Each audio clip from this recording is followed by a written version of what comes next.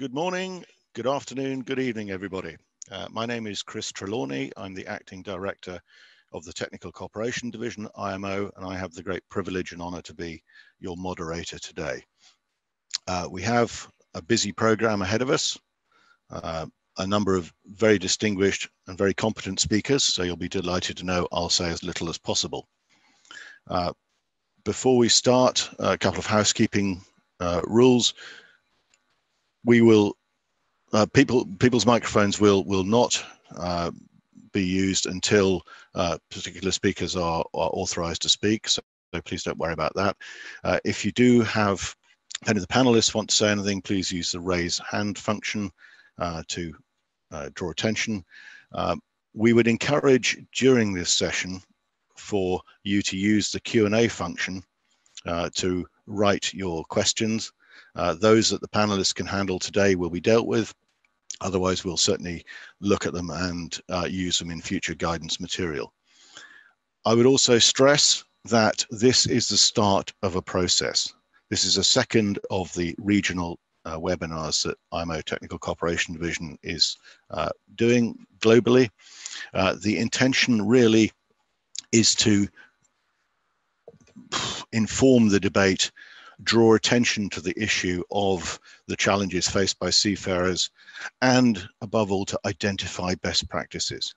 What I'm going to be asking the speakers to do today is to identify what works. How can we get a better joined up approach to treating seafarers as key workers, facilitating their return home, facilitating seafarers to ships, and generally increasing their uh, quality of life during this uh, COVID pandemic. Uh, so that's basically it. I will be uh, the sorry the biographies of the speakers. Most of them should be well known to you. Uh, they are available uh, on the website given www.imo.org, and we will put the the link out on that. So enough from me, uh, and we'll start off with some messages from the Secretary General. Excellencies, ladies and gentlemen, the COVID-19 pandemic has affected all of us with unprecedented impact on our lives, our economies, and our societies. Yet the global supply chain has kept on turning, with shipping delivering medical supplies, food, fuel, and so many other goods needed in our daily lives.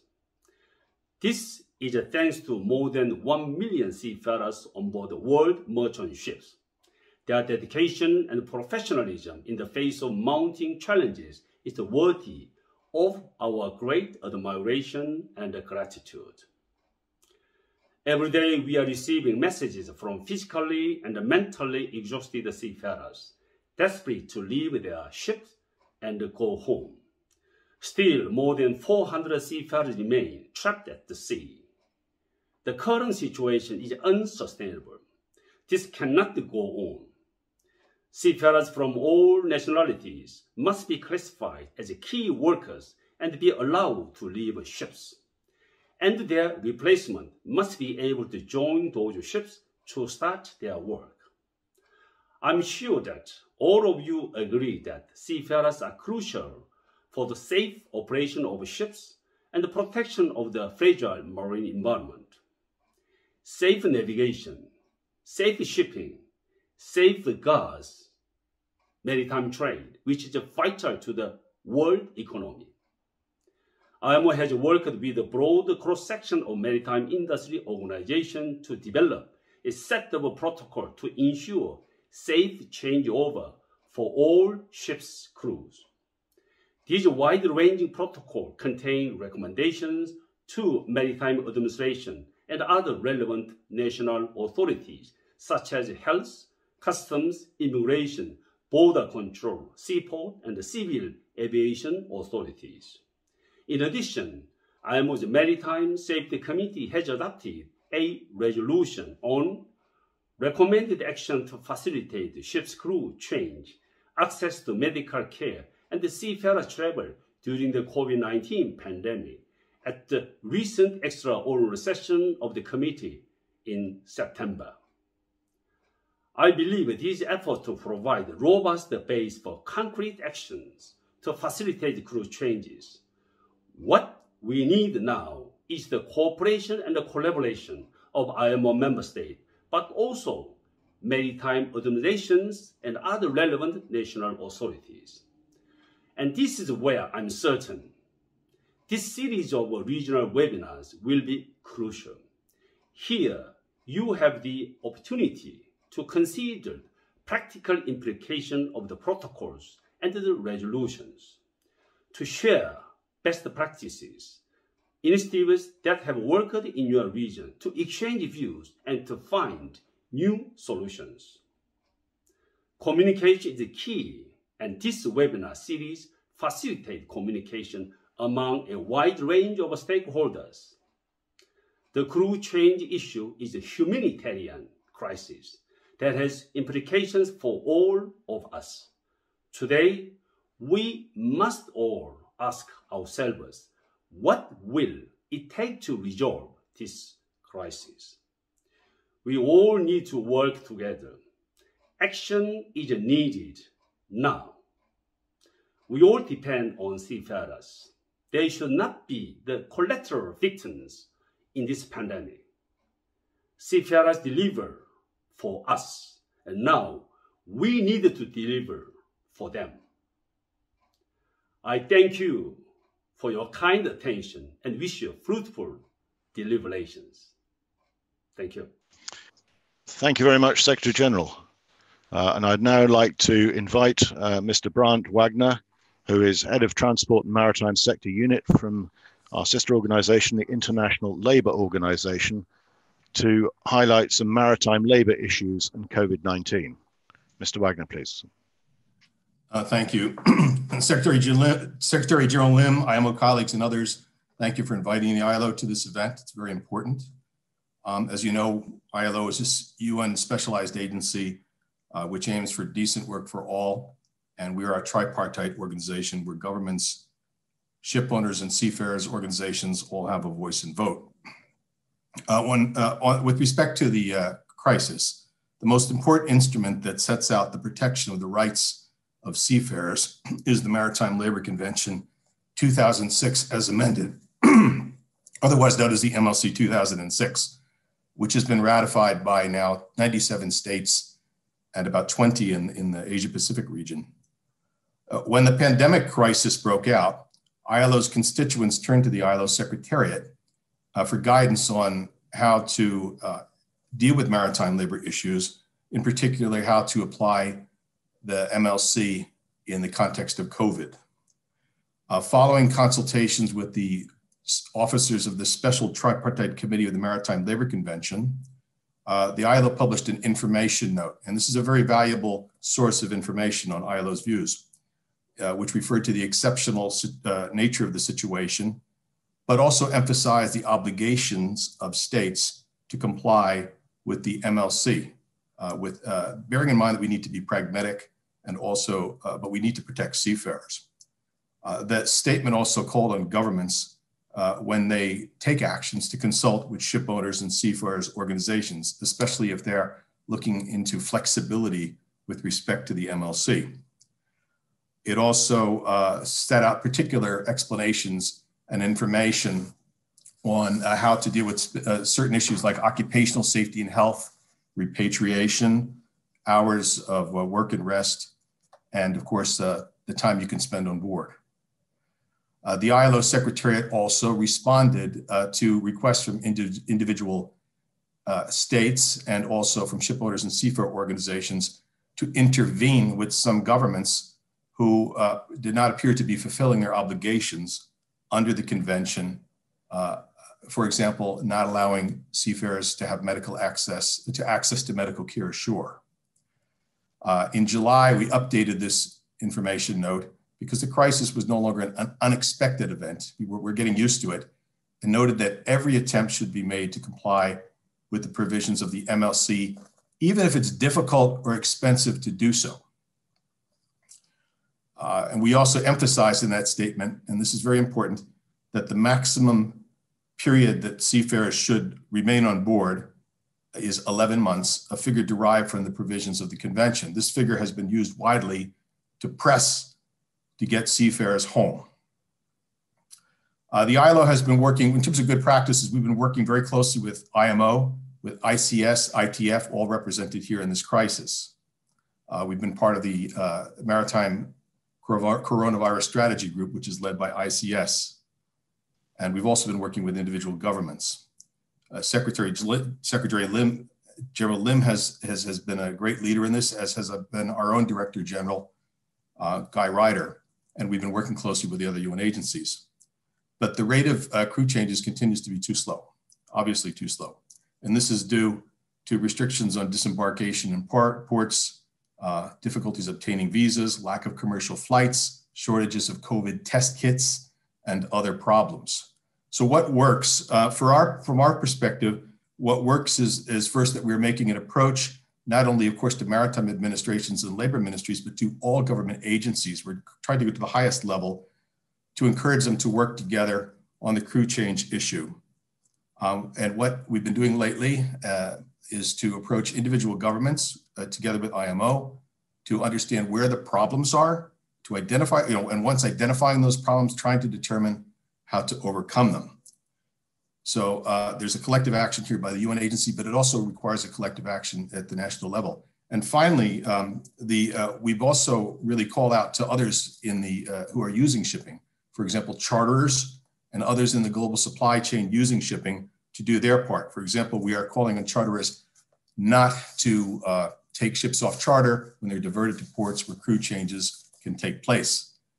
So uh, we we're now finally final notice that we are in a situation now where we have, for example, from Tonga recently, a report of seafarers on board for 19 months, which is completely and absolutely unsustainable, and it's inconsistent with the Maritime Labor Convention.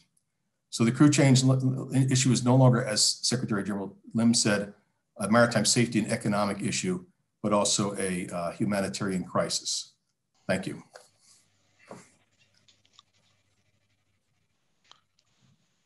Okay, thank you very much, uh, Brandt Wagner from ILO, uh, particularly for highlighting the need for collective action at a national level to get a response.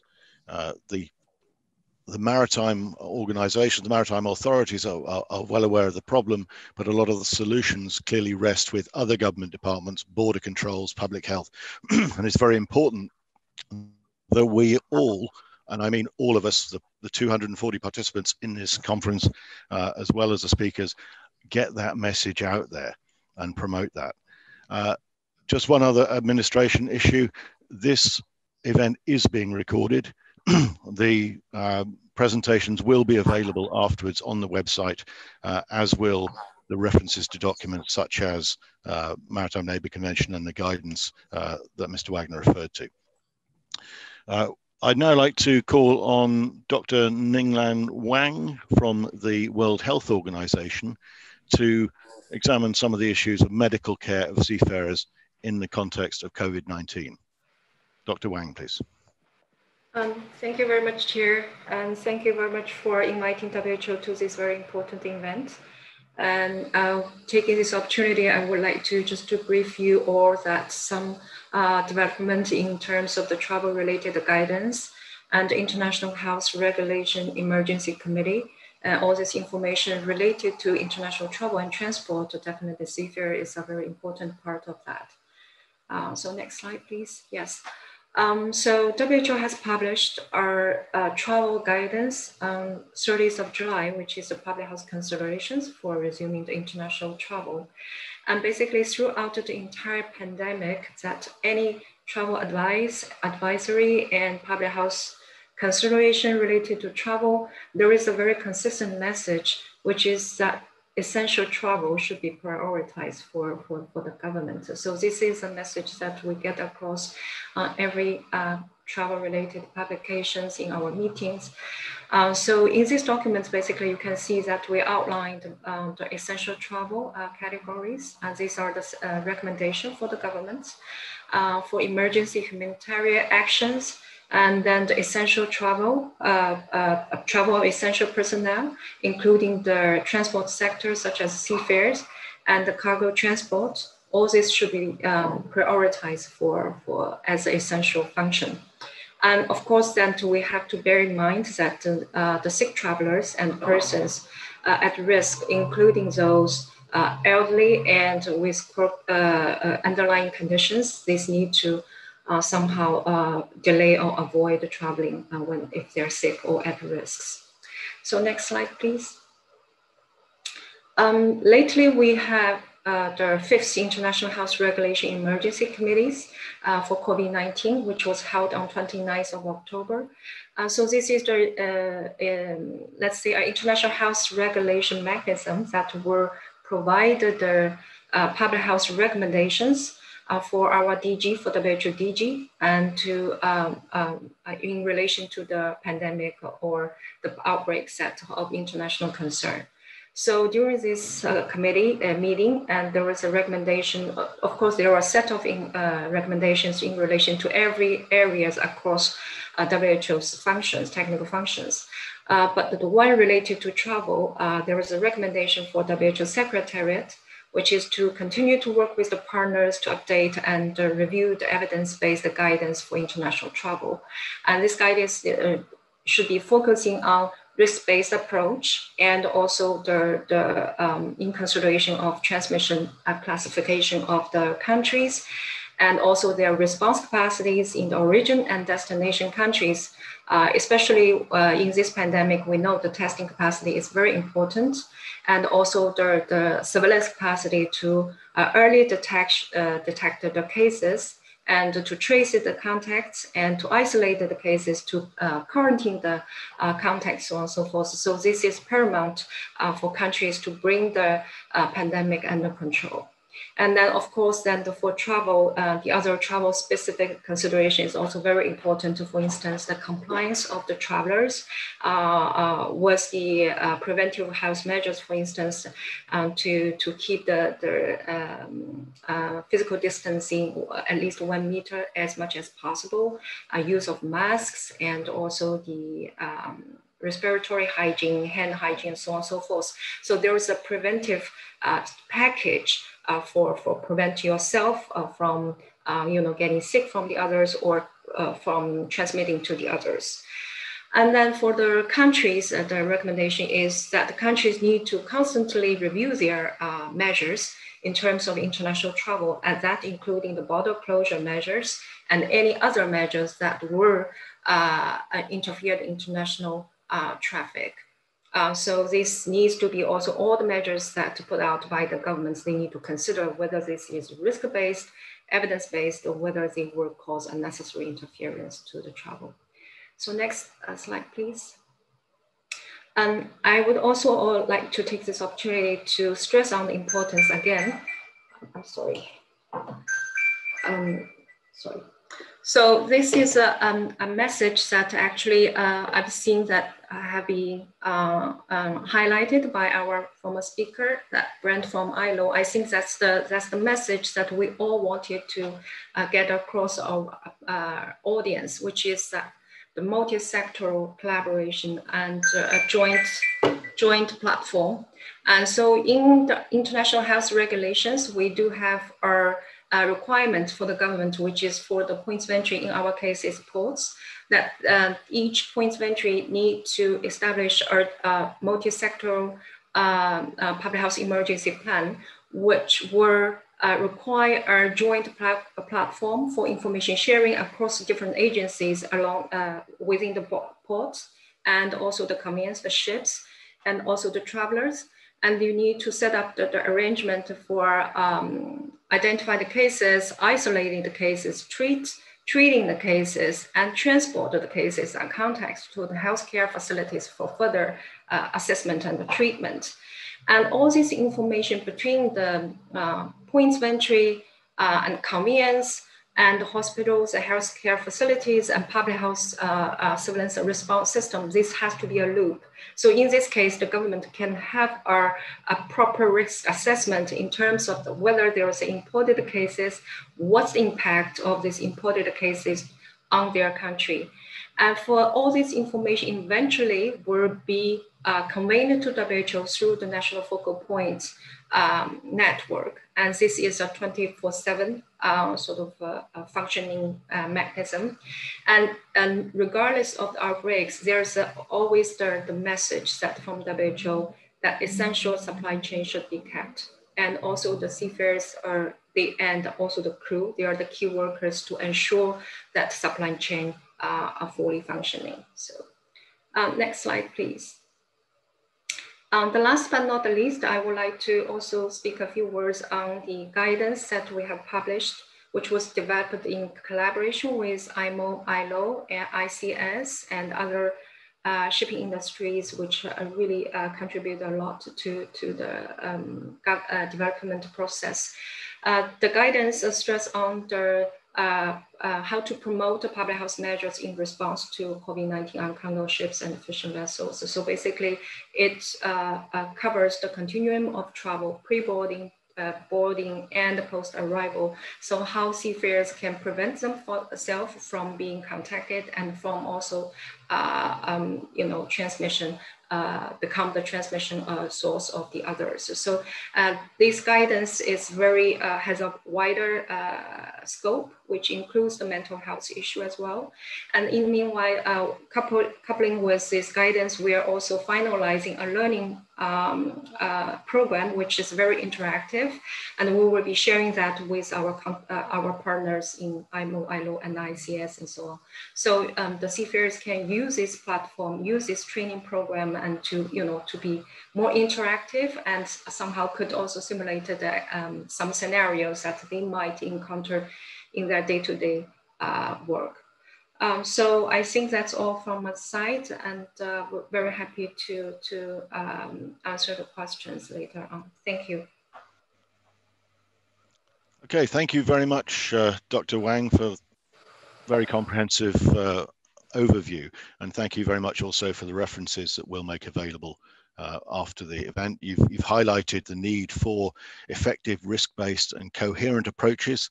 Uh, you've also highlighted the need for compliance by travelers and crews, uh, a very important part of the, the equation, uh, and the need for a multi-sectoral approach, which leads me neatly into the next session, uh, IMO, of course, practices what it preaches. So we have a multi-sectoral, multidisciplinary approach uh, to this issue through the Seafarers Crisis Action Team.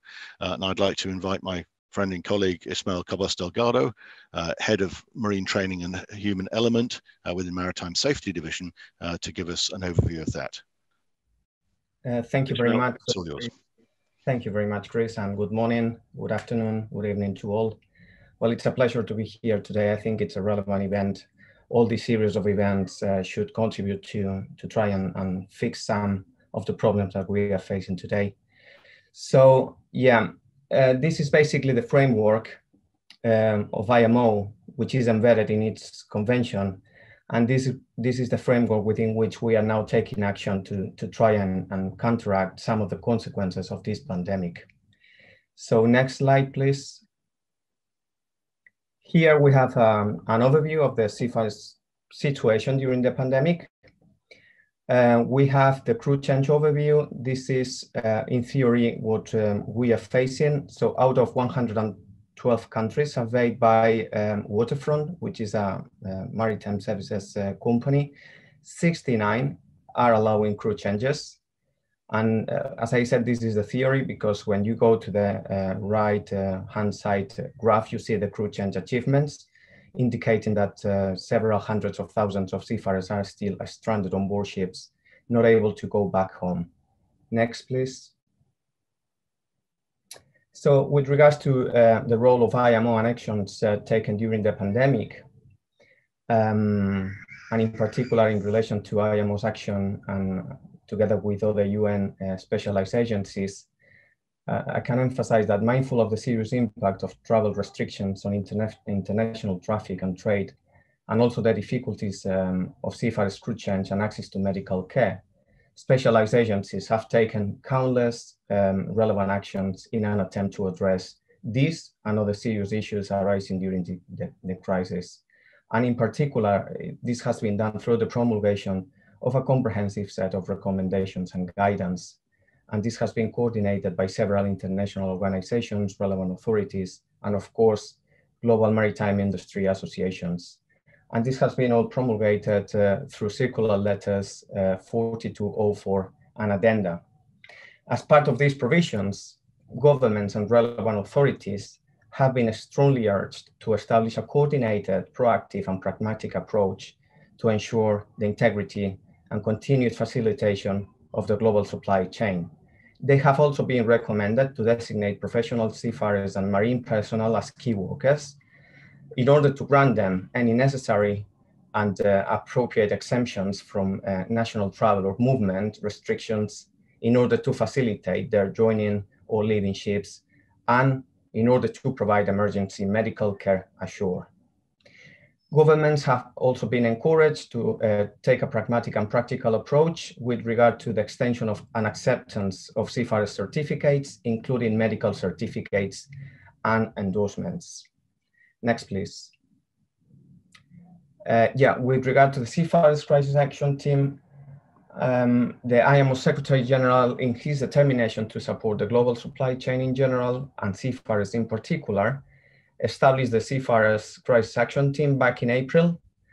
Um, this is a team established within the Secretariat uh, to cooperate with global industry groups, to take action as well through diplomatic channels and intervene in specific cases regarding crew change, repatriation, access to medical care, and abandonment as an this was in, in, in principle an additional driving force to protect our seafarers and address trade disruptions.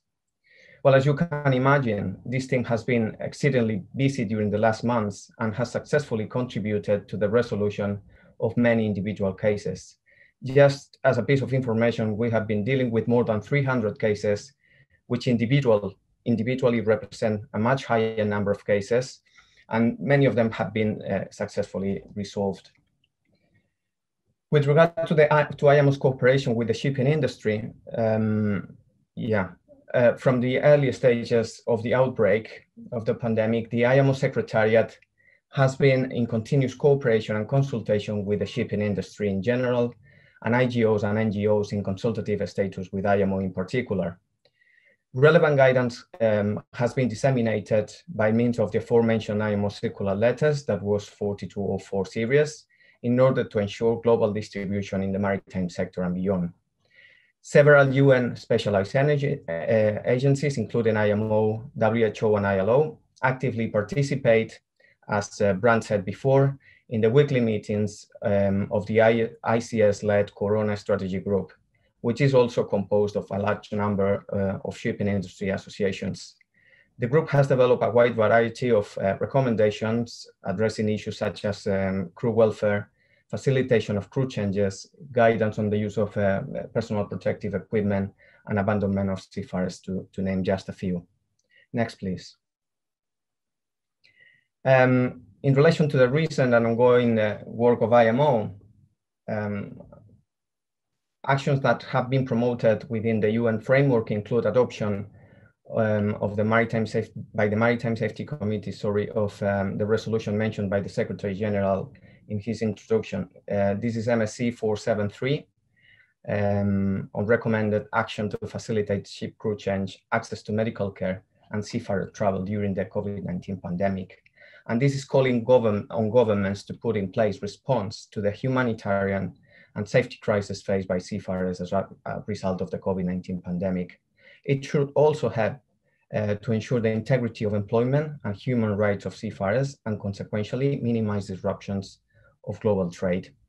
Finally, I would like to emphasize that uh, MSC 102, which is going to be um, uh, holding uh, its meeting during this week and next week, will consider COVID-related proposals, and in particular, a proposal to recognize the recommended fra framework of protocols related to safe uh, ship crew changes led by the industry, as provided in, in, in the circular series that I mentioned before. So uh, what is proposed is that uh, MSC approves an MSC circular uh, promulgating this uh, framework, framework of protocols and keeping them up to date. Uh, there is also a proposal to develop a new GISIS module to register ports that facilitate crew changes and disseminate information provided by member states about those ports to enable shipping companies to easily plan and organize crew changes during the COVID-19 pandemic. There are some other proposals submitted to MSC 102, such as one to develop a universal non-text logo that en enables, in theory, this is the idea, seafarers to uh, identify and access dedicated resources and processes. So finally, uh, um, please rest assured that IMO's coordinated action at the UN level with member states and the industry continues and will continue until we overcome this crisis altogether. Thank you. Okay, thank you very much, Ismail, for that very comprehensive overview. Uh, the guidance that you've referred to will be made available or, uh, or, is available on the IMO website. And we really look forward to uh, the outputs of MSC 102, which actually starts today uh, on this very, very important issue. Now, this webinar is focused on uh, Asia Pacific region.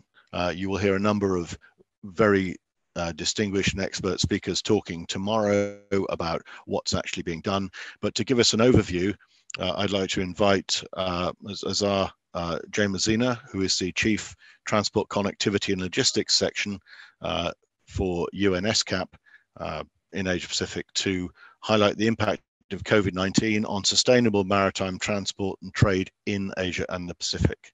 Uh, Jaimurzina, you have the floor. Yes, thank you very much. Thank you very much, dear colleagues, uh, for this invitation. And indeed, uh, UNESCAP, the, uh, which is the United Nations Economic and Social Commission for Asia and the Pacific, where the UN regional body uh, for um, uh, the many, many countries in Asia and Pacific. And on the maritime affairs, we work very closely with the IMO. And just last week, we had His Excellency Secretary General Lim at our opening our closing our Ocean Day discussion. So I'm very pleased to be here and support in turn this uh, valuable initiative by the IMO and other colleagues present here to highlight the challenges faced by seafarers. Um, I'm, next slide, please. Yes, my my my presentation or perspective is slightly different because you we, we, you spoke a bit more concretely about seafarers, but we would like to make the bridge. Why should our countries care, and why they uh, you know it should not just a social issue, please up, but an economic issue as well. You know that Asian Pacific, where the driving force of world economy, the maritime trade, um, we have a big chunk of it, a big, large 60, uh, more than 60% part of that pie that is in Asia and Pacific. We have leaders in maritime connectivity in our region, traditional established leaders, but also newcomers and new countries, particularly in Southeast Asia, becoming um, great uh, actors in, in the field. And relevant to this discussion, we are major suppliers of seafarers. We have our countries members of UNESCAP, China, Philip, the Philippines, Indonesia, Russian Federation. They supply uh, um, a large part of uh, labor force. And of course, in our region, we have countries with special needs. I know this is focused in Asia, but we have an issue of uh, countries in the Pacific who are, who are not uh, connected very well to the rest of the global economy. And, and, and this is a, a very pressing concern from our region. Next slide, please. So, so when we when we looked at the impact of maritime connectivity, well, we looked. What I think we've accomplished is to raise the issue of sustainable maritime connectivity as part of the COVID-19 response and, and encourage the governments in Asia and the Pacific to look at uh, at the various impacts of COVID-19 on shipping due to the disruptions in the land-based global supply chains and production activity, but also the uh, problem, problem of hinterland collection, hinterland connection of the ports, um, the contraction in the demand, uh, many other and operational connectivity issues that COVID-19 response has imposed on the transport sector. Uh, and this is something I think that was quite uh, successful. Our countries are very much aware of how maritime transport and COVID uh, in Asia Pacific are very much interrelated and how response to COVID-19 means quite a few concrete actions in the maritime area. Next slide, please what we have done together with our countries is a bit of on a smaller scale what IMO colleagues have done. We've looked at what the countries have done uh, in the maritime sector during the COVID, the, since the beginning of the COVID-19 pandemic. And on, on one hand, we were pleased with the response and the rapid um, response of our countries and their commitment to, to keep uh, their ports open. We've seen that the maritime connectivity, with some exceptions, has remained quite um, uh, preserved, as, as it were, and our ports really uh, show the resilience uh, and, and uh, heart you know, very, very strong response, very, very great commitment to keeping the economies, um, the global economy, but also the national economies and supply of critical goods open. So all countries in our region that we've surveyed, surveyed had maintained their ports open for freight, and they've taken many measures. And I'm sure I'm preaching to the choir. You know what those are. Uh, but what we've seen mostly afterwards as a sort of part, uh, a bit uh, darker part of the picture is the toll that it has taken on some key personnel and I think crew uh, crew members and seafarers are an ex excellent illustration of that. So it came at the at this great cost uh, to the human element of maritime connectivity. Next slide, please. Uh, we are quite concerned that any kind of shortages and any impact on the global services of maritime will not just affect the countries directly, you know, supplier, um, the buyer and the, and the supplier, but all the countries in the midst, in particular, are least connected countries in Asia, uh, in the Pacific, that that will uh, that are already suffering because some of the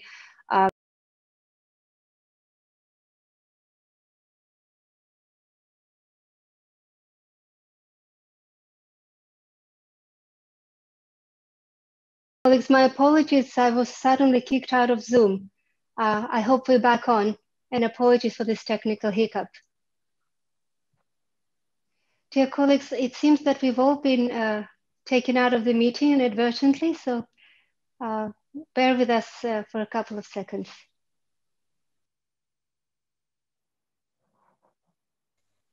Uh, sincere apologies for that. Uh, if you'd like to carry on, please. Yes, thank you very much. I was nearing five uh, minutes and I thought you found a very good way of uh, helping speakers manage their, manage their time. Um, so no, no worries. Uh, let me just uh, uh, recall the, the, last point that I was making, uh, that we are afraid of any disruptions that caused by shortage of personnel. it will not be affecting just the, the seafarers themselves. It will affect the economy of our region and it, it will leave some of the more vulnerable uh, actors in our region um, at the margin of the global economy. Next slide, please. So colleagues, um, I would like to uh, conclude by saying that perhaps one of the, the, the mandate of UNESCAP, uh, the, Economic and Social Commission we look uh, when we work on maritime connectivity as, as such, and, and largely it was dominated by the economic aspects and how it helps our economies grow. So naturally, when we have looked at the ways um, the COVID-19 has impacted maritime connectivity, we looked and identified short and long-term structural changes, some of them uh, with higher vulnerabilities, but some of them quite positive, greater digitalization, greater use of technology, greater resilience in the future. But what this seminar, webinar, and, and the work of IMO and ILO and other colleagues have shown us that what this COVID-19 pandemic has done is also said that you cannot have resilient maritime connectivity if you do not protect um, and in, enhance the treatment of your transport workers. So we will make sure from our side to make sure uh, we, to incorporate the, the social issues and the issues of seafarers and in particular reference to very concrete work that's done by the organizations present here in our regional cooperation framework on maritime transport, the next regional action program for Asia and the Pacific on transport connectivity. In that sense, I hope that that could be the contribution that UNESCAP can make to uh, address this very important issue. I will fi finish on that and thank you very much for your time. Well, thank you very much for that uh, brief uh, but regrettably interrupted overview. I do like your style as a way of cutting off uh, speakers, but uh, I think I better give that a miss. Uh, thank you very much for highlighting the fact that sustainable maritime transport is essential to the global economy uh, and it's also essential to the post-COVID recovery as well, uh, and also the need to protect transport workers. So moving on from that, I'd like to invite Natalie Shaw, uh, who is from the International Chamber of Shipping, uh, to look at or to, to cover why are seafarers' needs appearing to be forgotten during the pandemic. Uh, Natalie, you have the floor, please. Okay, uh, we appear to have a slight technical hitch on uh, Natalie Shaw, but I hope we'll get her back for you.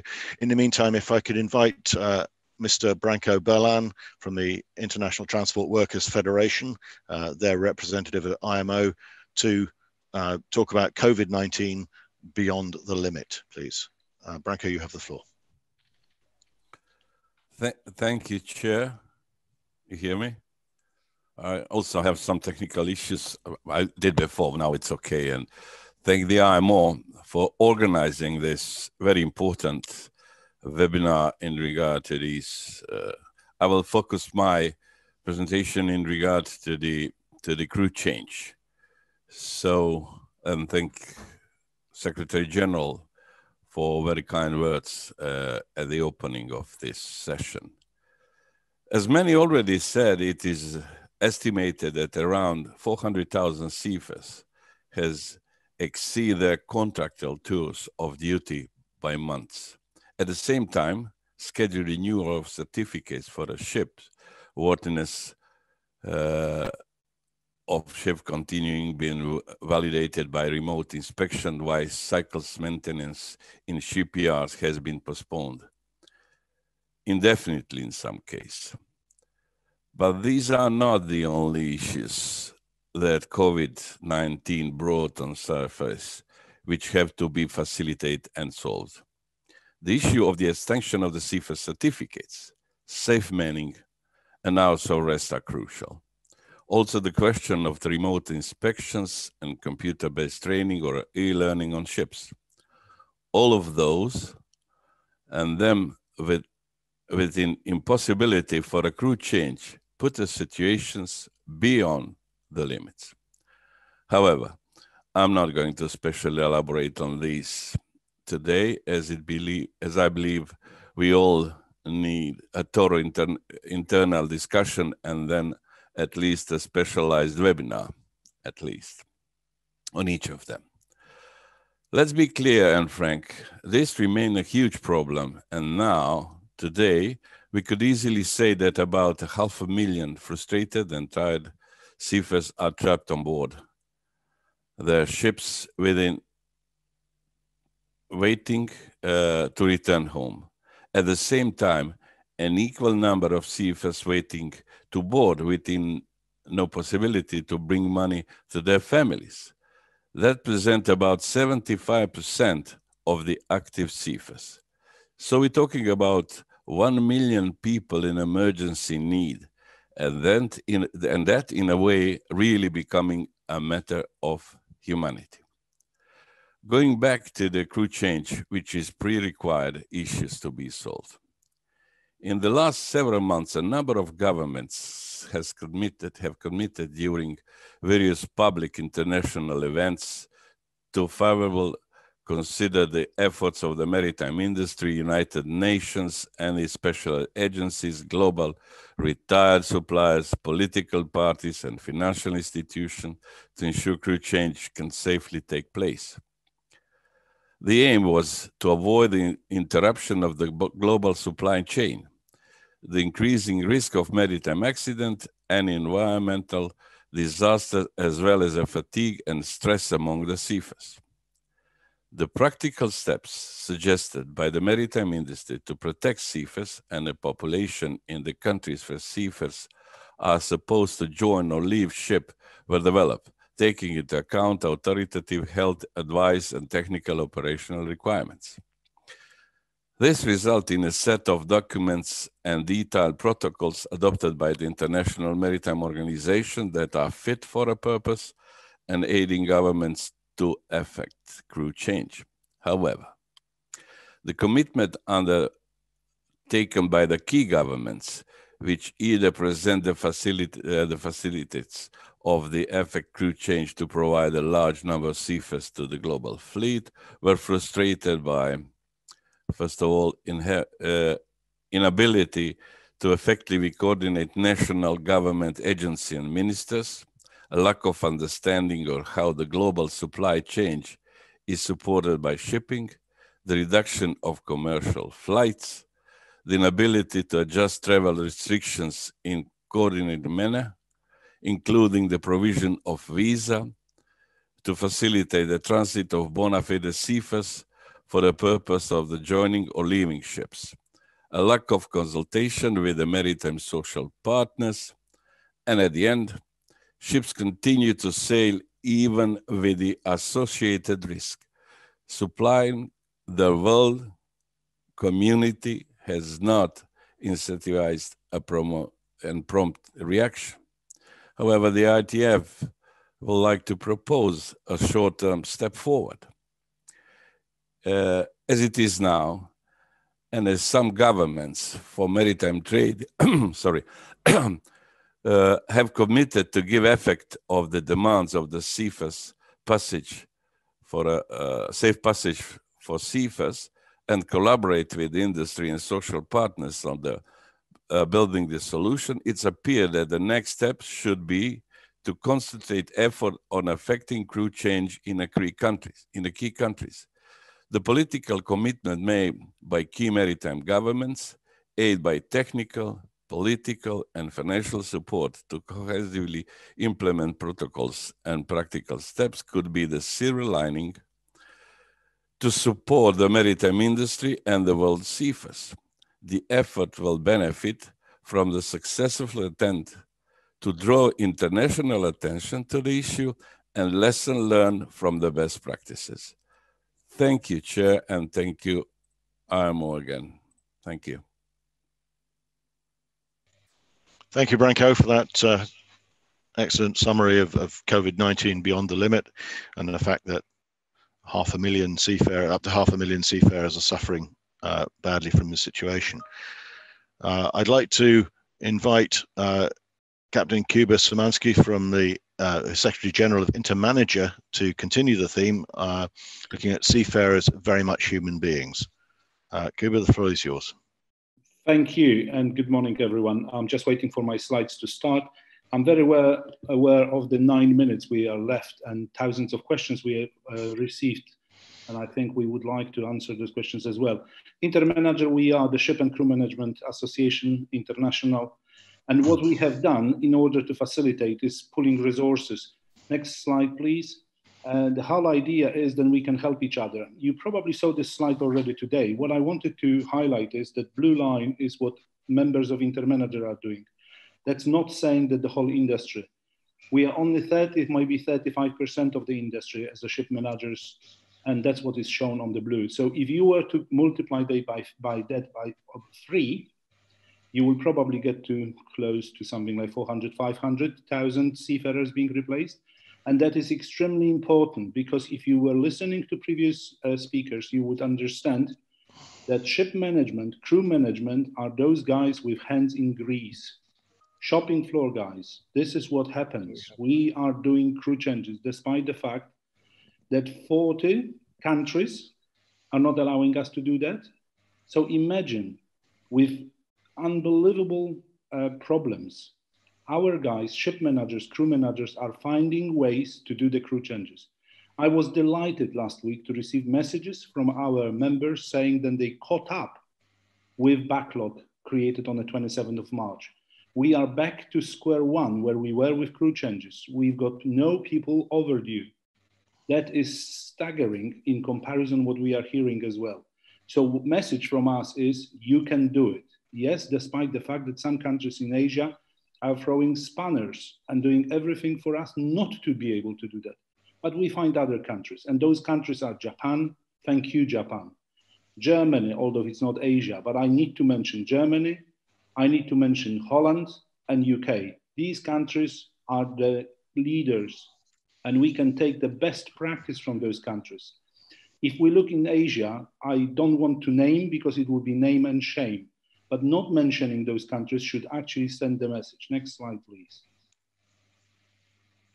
Okay, many people before me spoke, then we are cooperating. And right from the beginning, these organizations got together and prepare things. Next slide.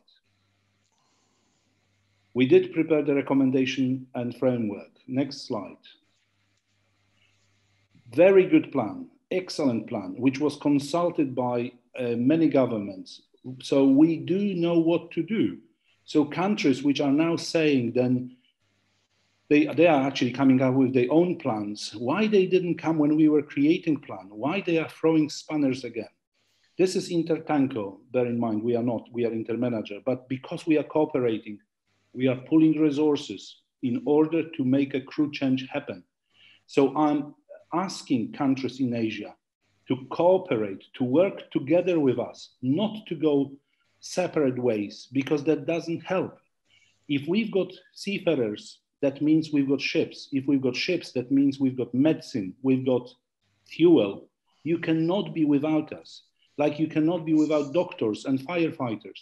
There is very good reason why seafarers are called key workers, because they do supply your doctors with needed supplies. So allow us to crew change as well. I wanted to highlight what Branko already said. We can, cannot forget about people who are waiting at home. These guys want to go and relieve their colleagues at sea. So it's not only 400,000 we are talking about, it's closer to 1 million people who need to go back. Next slide, please.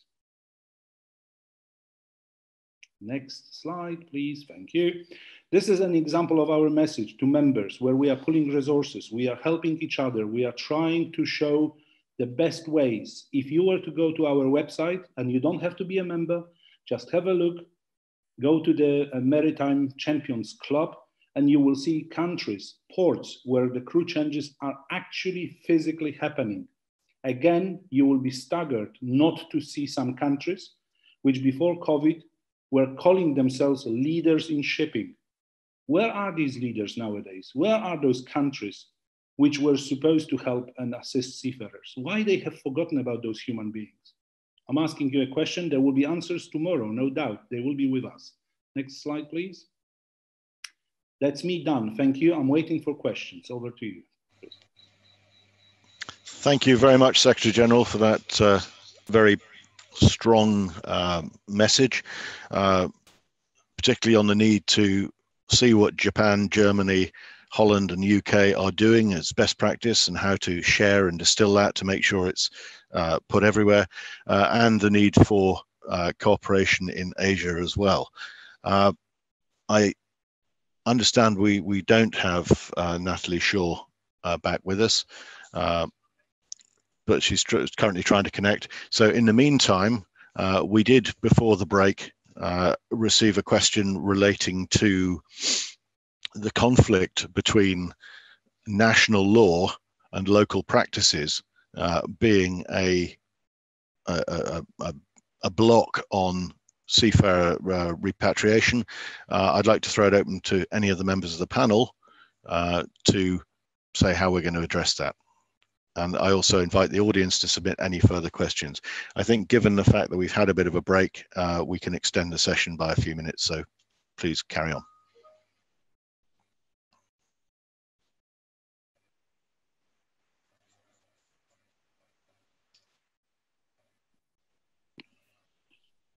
Branko, please.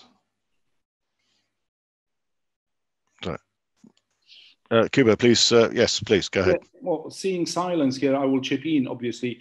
And I think uh, it would be very good if we could ask all ourselves to promote shipping even further than we have been doing so far. We definitely need a good message to go to general public so they can see that many, many industries they were familiar with collapsed. They are not doing as well. And we need to tell them, but we are here, guys. We are here despite our own problems. We are talking within the family about our issues. But as far as general public is concerned, the bread is on the table. The fuel is at the pump. The medicine is in the hospital. That's only because shipping industry does not come with the ideas like air industry, train industry, whatever you call it, okay? We are there. We were prepared we were able to quickly recap the situation, find solutions, and deliver. If we could get this message across to Joe Bloke in any country, then I think governments, politicians in every local uh, constituency would have a problem to throw a spanner, to object to seafarers, because regular people will say, hold on a second, allow these guys to come. They need to join the ship, they need to go home. because they are actually delivering goods on our tables. Thank you. Thank you very much. To okay. Okay. Uh, I understand that we, we can't get uh, Natalie Shaw to connect. Does anybody, any other panelists wish to comment on that particular question or raise any questions of their own?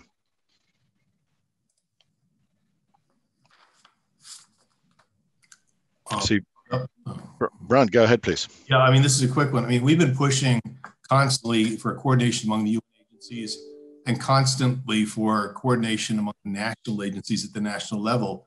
But this sort of ports, points out the importance of bringing in all the local authorities into that coordination mechanism at the national level as well.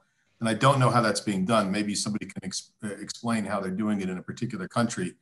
But it seems if the even if we work things out at the national level in a specific country, but there's not a lot of consultation with the local authorities, they may they, the message may not even get to them clearly. We heard early on in the crisis that there were a lot of were acting almost independently. So I guess they have to be part of that debate in order to um, in order to come up with solutions. Great. Well, thank you very much. I, th I think some of the messages coming through here very loud and clear is that need for us, us, the the nearly 300 people on this uh, on this event, to scream loud the importance of shipping, the importance of seafarers being treated as key workers, the need for coordination at national level. There's also a need to identify best practice. Uh, you've just, Brandt's just challenged people to say what's happening in your countries, what's going right. Please don't hesitate to let us know that. Now, in terms of in terms of uh, tomorrow's program, uh, we're going to be drilling down into the the regional approach. We're going to be looking at what India is doing, what the Philippines is doing, what China is doing, Indonesia and Singapore. So hopefully they will bring some good uh, information on what's happening that we can share with other member states. But if you're from Asia, anywhere in Asia Pacific or anywhere in the world, and you you know about matters that are actually working, procedures that are working, please let us know so we can do our communication function and share that. Unless anybody has any other questions, you want to say something? Yeah, yeah, thank you, Chris. Uh, only to emphasize, uh, the our proposal is actually what uh, you and Kuba said. It's it's it's about the key countries and governments and the problems they still have, but we should find the best practice and to learn from the from these what is going on. And I think that this the best way. It's not a, a to blame and shame but it's just to say it please check it find out the solutions that many other governments have it although those who did make uh, some kind of the commitment that they will do it they still have a problem but we could easily go to the to the issues and find the solutions otherwise it will never happen you know that it's called now a, a, new wave is coming and uh, many of these things are back to the in, in regard to the covid so let's be honest and have it clearly saying, yes, this is a huge problem and we can't accept these situations any longer. So thank you. Thank you. Okay, thank, thank you very much. Well, as I say, tomorrow we will be looking at the uh, the situation on the ground in Asia Pacific. Uh, I would encourage all of our participants to think about questions, come up with questions for tomorrow. Uh, and if you've got things to say or information to provide, uh, please do so. On that note, I think we'll stand by. Sorry. We will. Thank you. Uh, we will also invite uh, ICS to speak uh, in tomorrow's session, so we don't miss out their important message. So on that happy note, I'd like to thank you all very, very much.